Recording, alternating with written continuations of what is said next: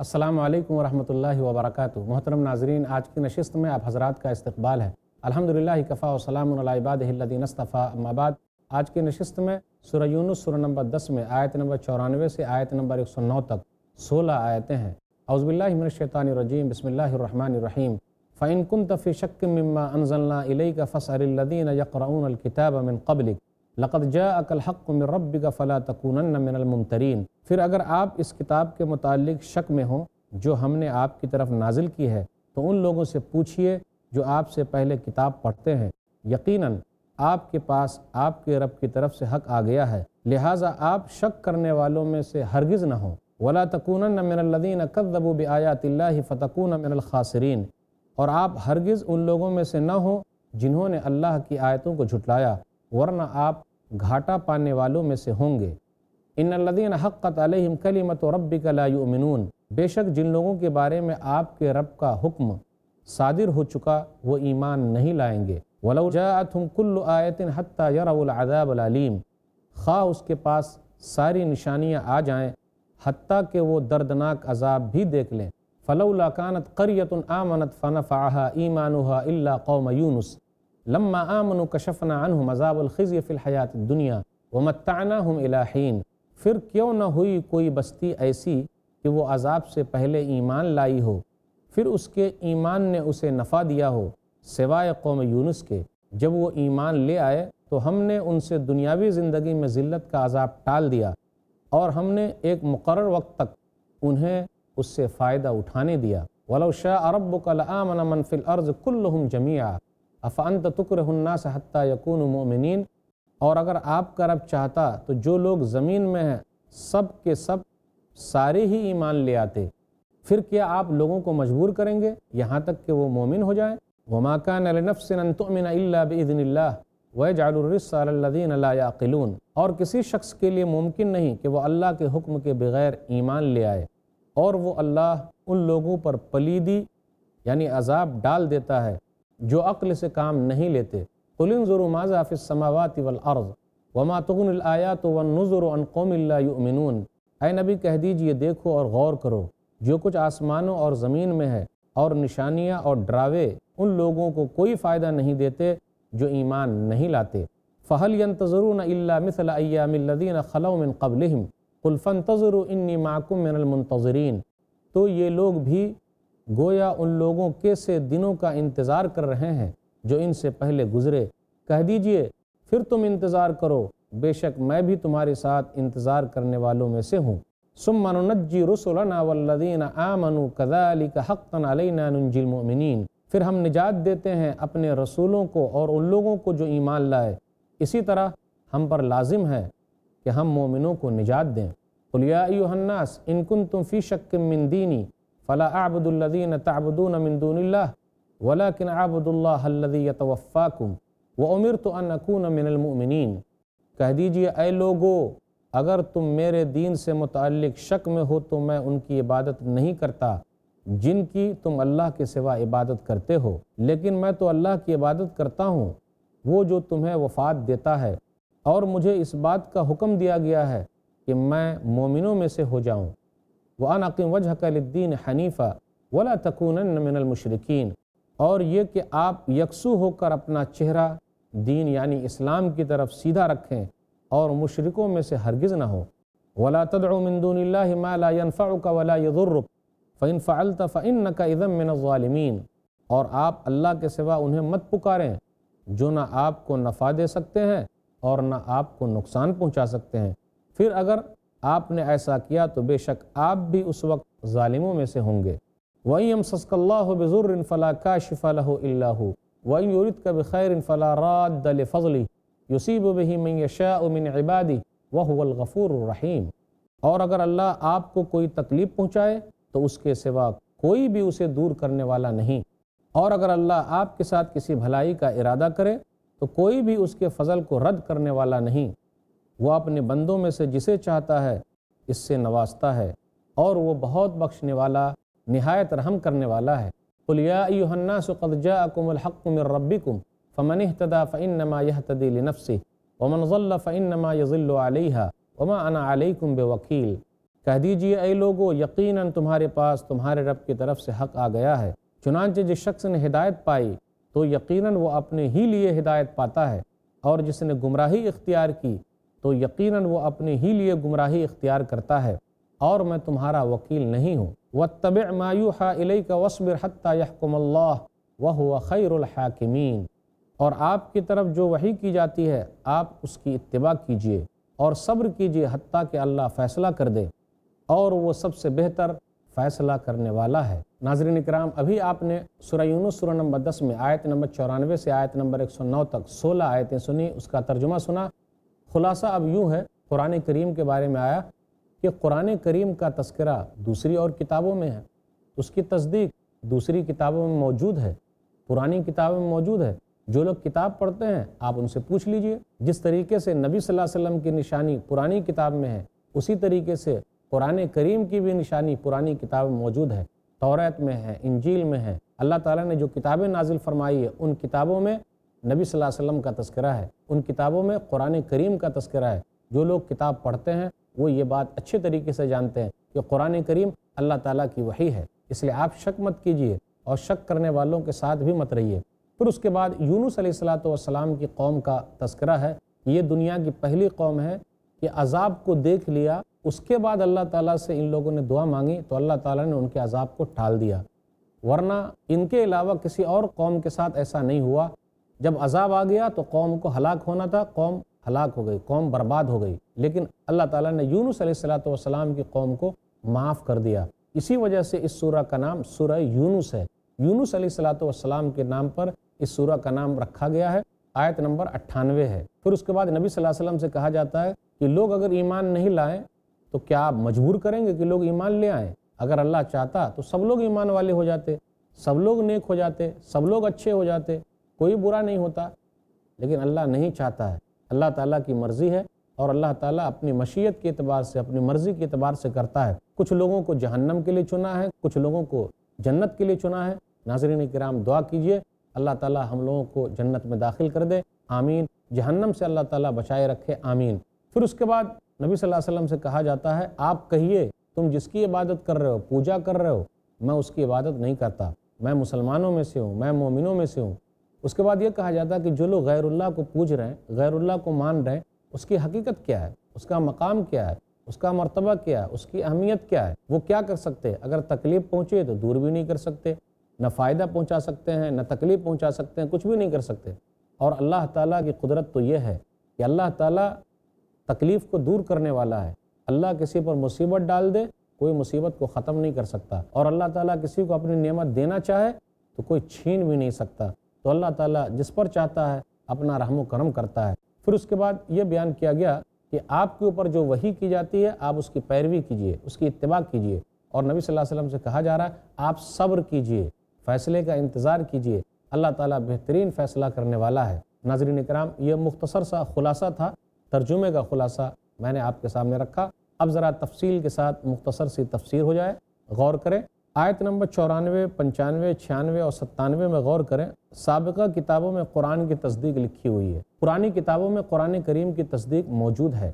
فَإِن كُنْتَ فِي شَكٍّ مِّمَّا أَنزَلْنَا إِلَيْكَ فَصَلِ الَّذِينَ يَقْرَؤُونَ الْكِتَابَ مِن قَبْلِكَ لَقَدْ جَاءَكَ الْحَقُّ مِن رَبِّكَ فَلَا تَكُونَنَّ مِنَ الْمُمْتَرِينَ۔ نبی صلی اللہ علیہ وسلم کی نشانی آسمانی کتابوں میں موجود ہے۔ سورہ عراف سورہ نمبر سات، آیت نمبر ایک سو ستاون۔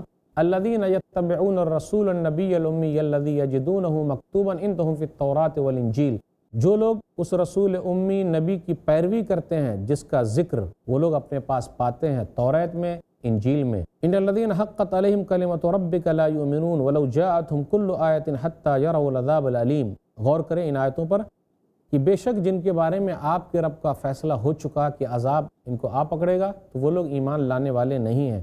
وہ عذاب کو دیکھ لیں پریشان ہو جائیں گے، ایمان نہیں لائیں گے۔ سورہ یونس، سورہ نمبر دس، آیت نمبر اٹھاسی، بغور کیجیے ربنا تمس علی اموالہم وشدد علی قلوبہم فلا یؤمنوا حتی یروا العذاب العلیم یہ موسیٰ علیہ الصلوۃ والسلام کی بد دعا ہے کہ موسیٰ علیہ الصلوۃ والسلام نے فرعون اور فرعونیوں کے لیے، فرعون کے مالداروں کے لیے بد دعا فرما دی کہ اللہ ان کا مال چھین لے، ان کے دل کو سخت کر دے، یہاں تک کہ وہ دردناک عذاب دے دے۔ غور کریں، انبیاء علیہ الصلوۃ والسلام بد دعا نہیں کرتے ہیں۔ لیکن یہ بے اختیاری طور پر بد دعا نکل آتی ہے۔ بہت سمجھایا، بڑی کوشش کی، اس کے باوجود بھی لوگ نہیں مانے تو اللہ کی مشیت کے تحت یہ بد دعا ان سے نکل آئی۔ نو علیہ السلاۃ والسلام نے بھی ساڑھے نو سو سال تک تبلیغ کی ہے۔ لوگ نہیں مانے تو بے اختیاری طور پر بد دعا نکل آئی۔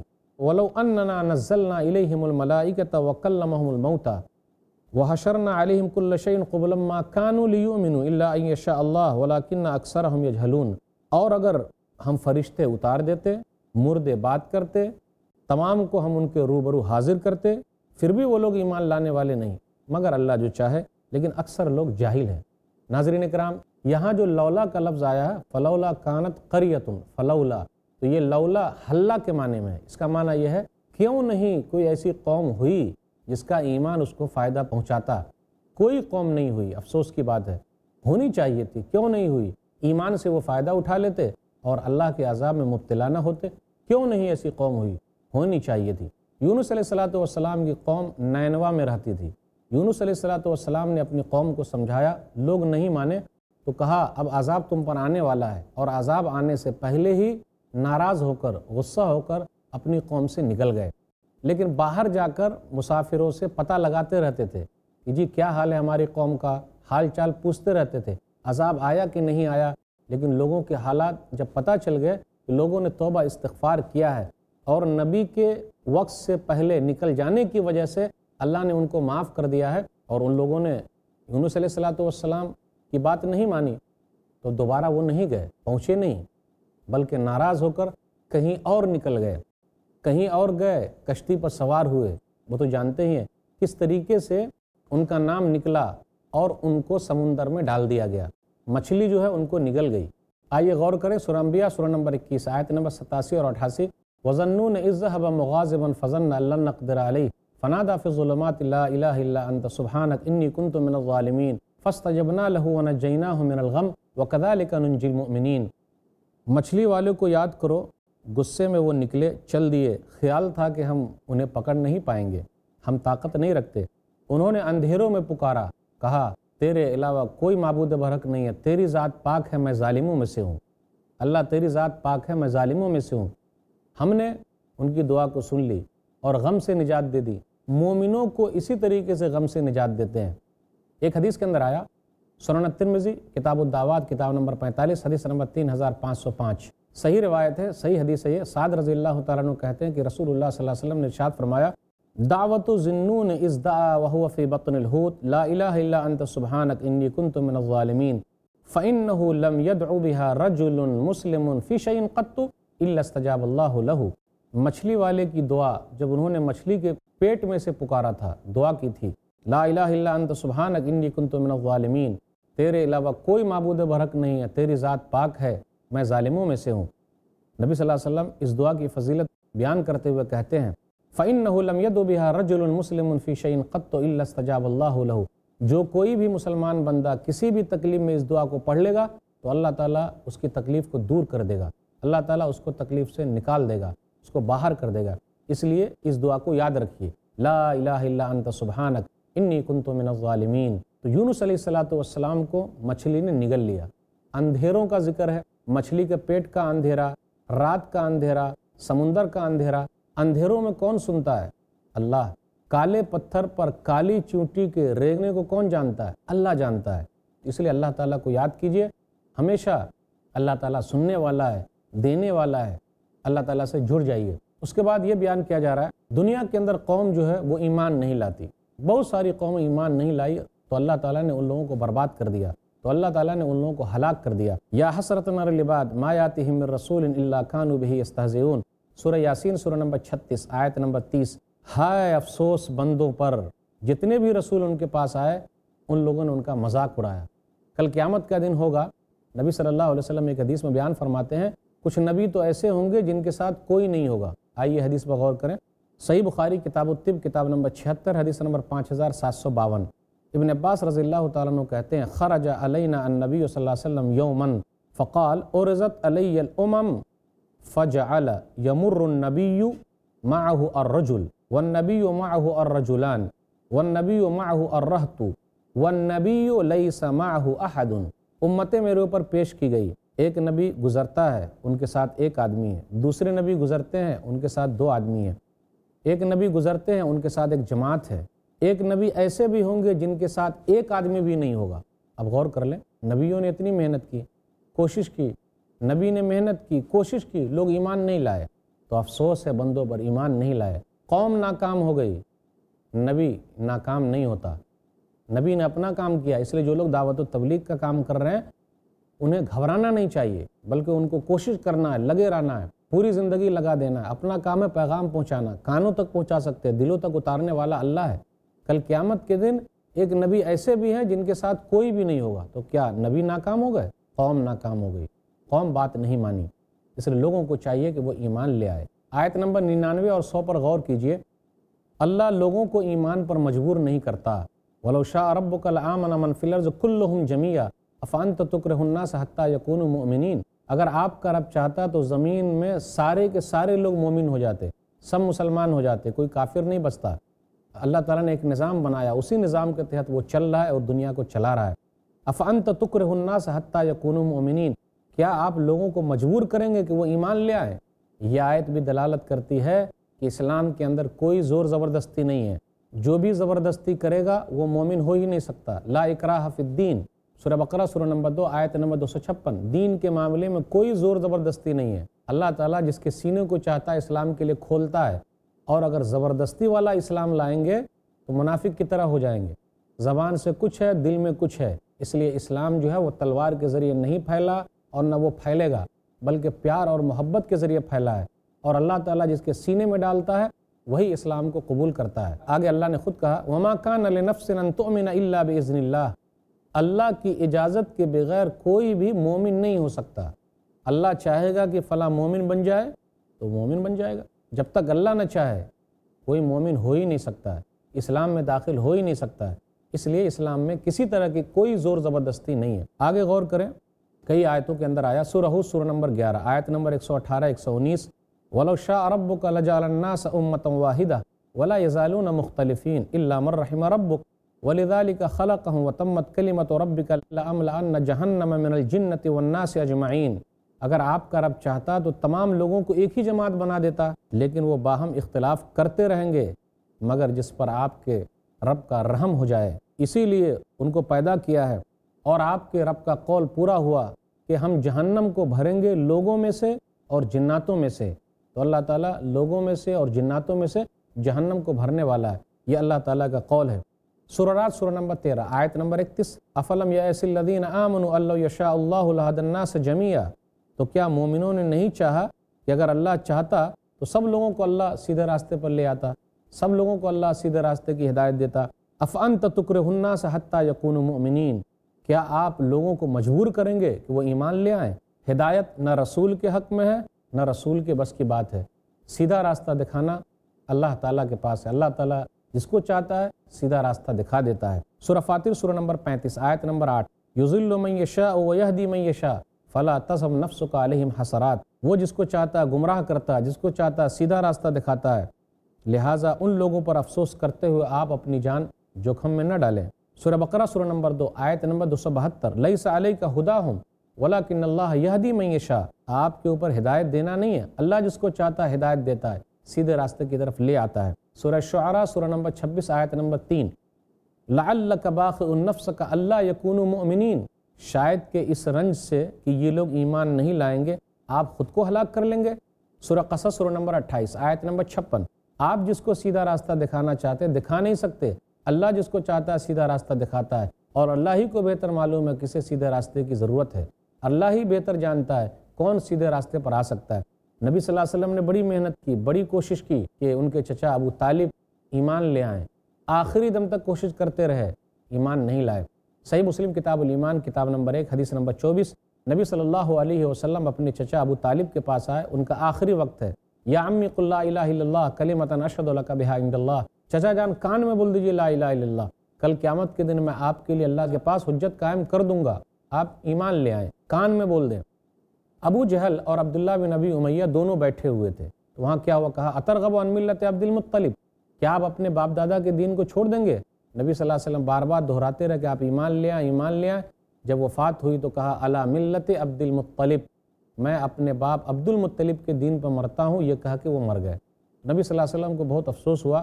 پوری دنیا کے اندر یہی نمبر ون غیر مسلم ہے جنہوں نے اسلام کی سب سے زیادہ خدمت کی ہے۔ اس لیے جہنم میں سب سے ہلکا عذاب ان کو ہی دیا جائے گا۔ آپ غور کریں، آیت نمبر 101 سے 103 کے درمیان کہ آسمان و زمین کو اللہ تعالیٰ نے پیدا کیا، اس پر لوگوں کو غور کرنا چاہیے۔ آیت نمبر 104 سے 107 کے درمیان کہ اللہ کی ہی عبادت ہوگی اور اللہ ہی پر بھروسہ کرنا ہے۔ اور یہاں ناس ناس کا لفظ ہے۔ اے لوگو اے لوگو، شک ہے دن میں، دین کے معاملے میں شک ہے۔ جی تم جو پوج رہے ہو، میں نہیں پوچھتا۔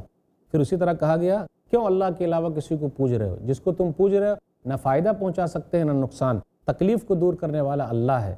اور اللہ تعالیٰ جس کی تکلیف کو دور کر دے، کوئی اس کو تکلیف نہیں دے سکتا۔ اور اللہ تعالیٰ جس کے اوپر اپنا فضل کر دے، اپنی رحمت ڈال دے، تو اس کو کوئی چھین نہیں سکتا۔